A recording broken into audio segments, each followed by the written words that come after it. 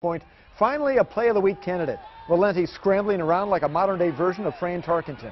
Heaves it way downfield where two Rocket defenders tip it right to Ankney for his second TD and a half. The Bobcats blank the Rockets 30 to nothing.